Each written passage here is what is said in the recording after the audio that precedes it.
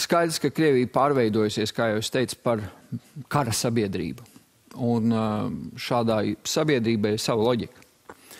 Un, protams, ja viņiem veicās karā Ukrainā, tas, ka tas varētu nebūt pēdējais etaps, nu, tas ir pietiekami ticami. Es ne, negribētu likt nekādas laikrājumus, un līdz tādam scenārijam ir daudzi ja vai vai, un kur mums ir iespēja to ietekmēt.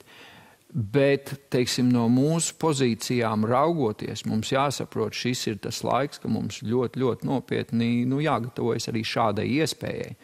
Un šeit kļūdas pieļaut nedrīkst. Mēs nevaram rīkoties tā, kā mēs darām ar elektri, elektrovilcienu iepirkumu vai ar, ar, ar žogu vai ar, ar, ar Real Baltica.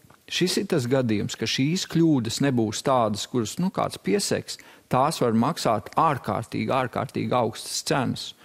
Un šis, manuprāt, ir jāsaprot visiem, gan, gan, gan gan dažādās nozarēs, gan, gan valdībā, gan, gan parlamentā, ka šeit eh, nu, pie dažiem no šiem scenārijumiem šīs kļūdas mums nepiedos, un to cena var būt visaugstākā. Vai jūs šobrīd saredzat kaut kādas pazīmes, ka kļūdas varētu tikt pieļautas? Nē, nē, nu, es vienkārši domāju, ka mums jā, jākļūst un jābūt ārkārtīgi mobilizētiem.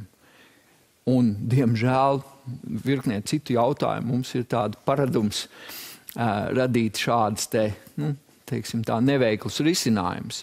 Bet šis ir tas laiks, kad to nevar atļauties un nedrīkst pazust trīs priedēs. Šis ir tas gadījums, kad mums jā, skaidri jāsaska, jāsaskata, kas ir uz kārts un attiecīgi jārīkojās kā valstī, kā cilvēkiem, kā valdībai, kā individiem.